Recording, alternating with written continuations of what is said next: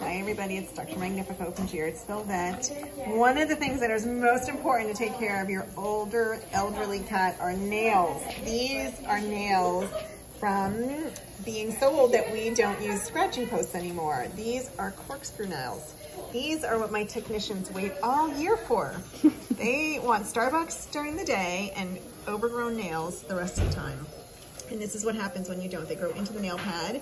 Most of the time these cats are presenting for lameness, so not using the leg, and then we look at their nails and this is what we see. Your nails need to be trimmed probably monthly. When they're really young and they're using scratching mats, maybe not that often, but the rest of the time we need to be doing them on a monthly basis. Um, if you need help, understanding how to trim nails, you can come here and any of my technicians will show you.